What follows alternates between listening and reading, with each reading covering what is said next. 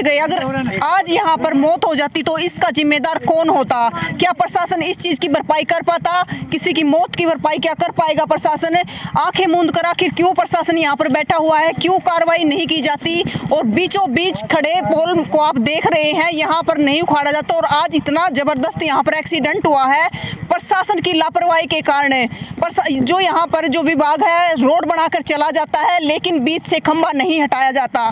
नमस्कार मैं प्रियंका और आप तस्वीरें देख रहे हैं पेगा गाँव की जहाँ पर जो पेगा गाँव के आदमी है वे कई बार पीडब्ल्यूडी विभाग को अवगत करवा चुके हैं जो रोड के बीचों बीच एक खंबा खड़ा हुआ है। लेकिन कई बार गाँव वाले उस खंबे को लेकर पीडब्ल्यूडी विभाग को और साथ में बिजली निगम को भी अवगत करवा चुके हैं कि बीच से खंबा हटाया जाए लेकिन इस समस्या का कोई समाधान नहीं किया जा रहा है। पेगा गाँव ये पेगा गाँव है जो कि उचाना हलके में आता है। उचाना हलके के उसमें आने के बाद भी जो कि डिप्टी सीएम दुष्यंत चौटाला के हलके में आता है और इस समस्या की कोई कार्रवाई नहीं की जा रही है। लेकिन आज यहाँ पर एक इतना बड़ा हादसा हुआ है जो रोड के बीच में खंबा था। खंबे की वजह से हादसा होते होते दो इंसानों की जान बच गई। आज उन इंसानों की जान भी जा सकती थी। अगर उन इंसानों की जान चली जाती तो उसका जिम्मेदार आखिर कौन होता? प्रशासन क्या जवाब देता? ये आप देख रहे हैं कि खंबा ऐसे गाड़ी टकराने से खंबा टूटकर साइड में गिर गया है। लेकिन जो विभाग है, जो प्रशासन है, प्रशासन के द्वारा कोई कार्रवाई यहाँ पर नहीं की जा रही है। जो यहाँ के पेगा गाँव के लोग हैं, वे कई बार बता रहे हैं कि हम कई बार अवगत करवा चुके हैं। जो पीडब्ल्यूडी विभाग के अधिकारी हैं, उनको अवगत करवा चुके हैं, लेकिन यहाँ पर कोई कार्रवाई नहीं हो रही है। अब हम आपको दिखाएँगे कि जो खंबा गाड़ी पर गिरा उस गाड़ी का क्या हाल हुआ है। ये जो आप गाड़ी देख रहे हैं, गाँव वालों के द्वारा बताया जा रहा है कि ये मांडी गाँव का था और बीचों बीच खम्बा इसके ऊपर गिरने से ये गाड़ी की हालत हुई है और इस में मतलब दो इंसानों की जान मरते मरते बची है। ये गाड़ी का बुरा हाल हो चुका है। खम्बा गिरने से पीडब्ल्यूडी आखिर क्या चाहता है? प्रशासन क्या चाहता है कि यहाँ पर किसी इंसान की मौत हो जाए, तब कार्रवाई की जाएगी या फिर इस चीज़ को ऐसे ही छोड़ दिया जाएगा? हम गाँव वाले से पूछेंगे कि आखिर कहाँ कहाँ इन्होंने अरदास लगाई है? कहाँ कहाँ ये खम्बे को लेकर पहुँच चुके हैं लेकिन कोई कार्रवाई नहीं की जा रही है। नमस्कार सर। हाँ जी। तो सर ये जो गाँव के ये रोड के बीच में खम्बा खड़ा है ये मैडम तो... ये खंबे नहीं है। ये तो चौबीस पच्चीस खम्बे है गाँव के और पिछले छः महीनों से हम गाँव वाले एस डी ओ नगोरा से JE S D O XEN P W D Narwana Uchana से संपर्क कर सके हैं। सभी कर्मचारी अपनी ड्यूटी को एक दूसरे पर डालते हुए नज़र आते हैं। पी डब्ल्यू का जेई कहता है कि एस डी साहब से बात करो एस डी साहब से बात करो तो कहता भाई एक्शन साहब से मिल लो। एक्शन साहब से बात करते बोले, यार देख लेंगे इतनी क्या जल्दी है। ना कभी वो सड़क बनाते हुए मौका आज तक हमने देखा सुबह उसके सुपरवाइजर के। ना इस पर कोई सफ़ेद पट्टी है ना कोई इंडिकेशन है। अब भी मलबा पड़ा हुआ है। ये सर कौन सा रोड है? ये जी कनाल राइस्ट हाउस रोड है। तो और ये एक्शन पीडब्ल्यूडी निर्माण द्वारा बनाएगा ये 1.8 किलोमीटर का इसकी जो चौड़ाई है वो अठारह फुट है जी। लेकिन हमने कई बार इसको गाँव वालों के माध्यम से इसको दुआया पत्रकार भाइयों से छाबंदो भाइयों से भी कई बार हमने मीडिया के माध्यम से भी ये खबर प्रमुखता से उठाने की कोशिश करी। आपने भी उठाई कृष्ण भाई ने भी उठाई शर्मा जी ने भी उठाई पटवा साहब ने भी उठाई और भी जितने अपने यूट्यूब चैनल हैं उनने भी इस खबर को प्रमुखता से उठाया। वो सारे अखबार सारी वीडियो हमारे पास है। तो लेकिन लेकिन हम तो आर हम तो घूम फिर कर बैठ गए इस गर्मी के अंदर। क्योंकि हमें पता था कि तुम्हारी आम आदमी की कहीं कोई सुनाई नहीं हुई। आम आदमी सड़क पर मरे कहीं मरे, घर मरे, बाहर मरे, उसकी कोई इज़्ज़त नहीं है। मैं तो उप मुख्यमंत्री दूसरी चौटाला जी से कहना चाहता हूँ, मैं उसका वर्कर भी हूँ। हमने ग्रामीण विकास मंच माध्यम से हमने इस समस्या को बार बार उठाया है।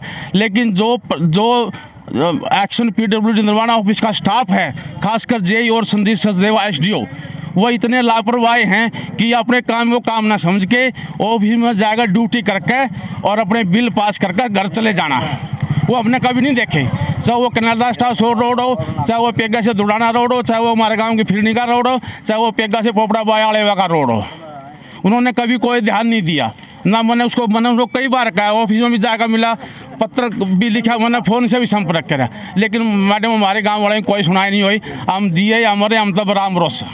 हम तो आप लोगों से ये उम्मीद है कि आप प्रमुखता से उठाए उसका है कि जिला प्रशासन इसको बात को सुन ले और हमारी समस्या का समाधान हो। आप जो इस सीन को देख रहे हैं तो कितना भयंकर खतरनाक ठीक है। इसमें मरने से क्या कमी रहेगी? उनको बंदे में चोट लगी गाड़ी अस्सी परसेंट डैमेज होगी। किसान ही गाड़ी का से इसकी भरपाई कौन देगा इसके पैसे? अस्सी से नब्बे तो हज़ार रुपये ये जो खंबा बीच में है तो हाँ। सड़क कितने दिनों से बनी हुई है और ये खंबे पे कितने दिन से ये ये ये ये सड़क तो चार से पाँच महीने हो लिए। और चार पाँच महीनों से आप चक्कर लगा चार पाँच महीनों से मैंने आठ दस बार तो फ़ोन कर लिया चार पाँच बार उनको पत्र लिख लिया अपने पत्रकार माध्यम के भाई से भी यूट्यूब चैनल वाले के माध्यम से भी मैंने इस खबर को गाँव वाले के सहयोग से प्रमुखता से उठाया।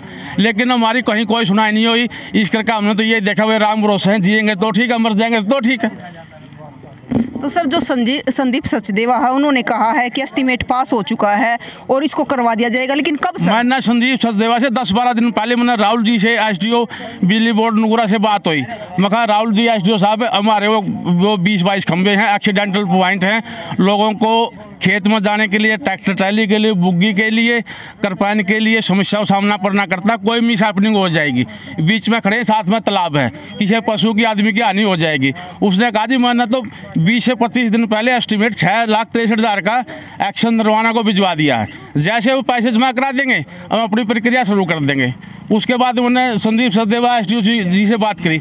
मगर एस साहब वो आप पैसे भिजवा दो एस डी नुगुरा बोल रहे हैं। वो बोले यार देख देंगे भिजवा देंगे मास्टर जी। ये कह के उन्होंने अपना फ़ोन बंद कर लिया। उसके बाद पंद्रह से बीस दिन के के बाद हमारे पास उन्होंने कोई भी पत्र व्यवहार नहीं करा मैडम। संपर्क में नहीं है। संपर्क में नहीं है। जैसा कि आप देख रहे हैं विकास मंच के प्रधान सतपाल पेगा ने बताया कि इन्होंने पूरी कोशिश कर चुके हैं लेकिन प्रशासन किस चीज़ की का इंतज़ार कर रहा है? क्या किसी की मौत का इंतज़ार कर रहा है? आज यहाँ पर मौत होते होते बची है। ये तो कुछ भी कह सकते हैं कि सहयोग था कि वो बच गए। अगर आज यहाँ पर मौत हो जाती तो इसका जिम्मेदार कौन होता? क्या प्रशासन इस चीज़ की भरपाई कर पाता?